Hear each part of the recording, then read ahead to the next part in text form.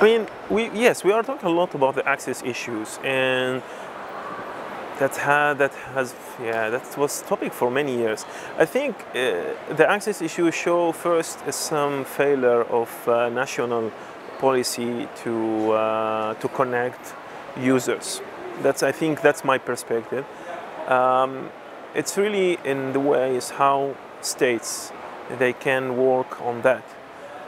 Is, is, is it the role of private sector to fill the gap?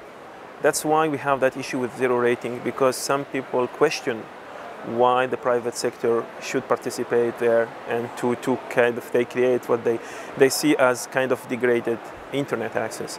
So I do think is maybe we, we cannot have a real global answer to that. I don't believe that we can have a global solution. It's more really it's work about uh, local uh, aspect.